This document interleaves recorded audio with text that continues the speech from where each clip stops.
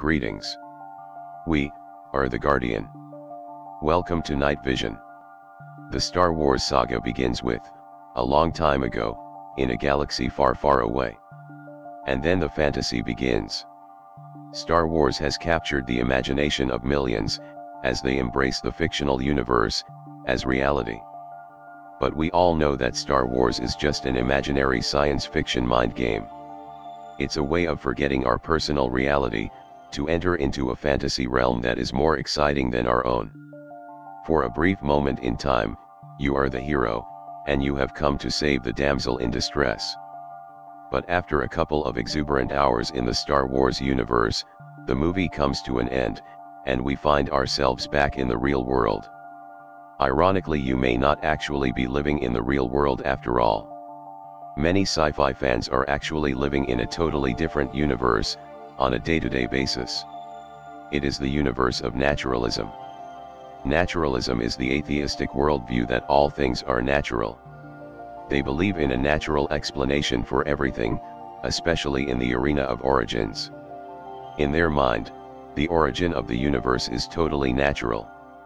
Origin of life on earth? Totally natural. Origin of humanity? Totally natural. The funny thing about the proponents of naturalism, they don't realize that their fantasy is not science, it's science fiction. For the naturalistic origins to be legitimate science, they would have to have evidence to back up their hypotheses, but they don't.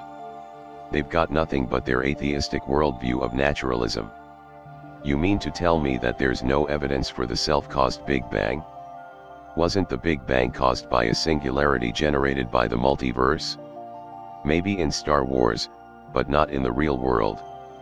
You mean to tell me that there's no evidence that life on Earth, popped into existence, all by itself, from non-living chemicals? Maybe in Star Wars, but not in the real world. You mean to tell me that there's no evidence that Homo sapiens sapiens evolved from bacteria? Maybe in Star Wars, but not in the real world. Now I know that this might all come as a shock to your sense of reality, but you have to make a decision. Keep your head in the fantasy world of naturalism, or step out of the darkness, into the light. Sure embracing the fantasy of naturalism is more fun, because in naturalism, there is no God, which means there are no rules, except dog eat dog. In the fantasy of naturalism, you can lie, cheat, steal, and fornicate. It's all fun and games, until it's not. Eventually, you get caught. Eventually, the movie comes to an end. God's rules of morality are not there to restrict you, they are there for your protection. So my advice my friend is to walk away from the lies, deception, and propaganda of atheism, and embrace the reality of creation. You are not a biological mutant, floating around in a cosmological accident. You are a divine creation, a child of the Most High God. And He beckons you home. Peace be unto you and your house. Let go of the fantasy world of naturalism. Open your eyes and learn to trust the science, not the scientists. Don't get duped into believing their atheistic propaganda. Demand evidence. They have absolutely no evidence to bolster their position, nor any evidence to deny creationism. A long time ago, in our very own galaxy, God, created the heavens and the earth. That's a fact. Trust your instincts. Listen to the evidence, and your own inner voice. You are not the byproduct of naturalism. You are not a worthless biological mutation.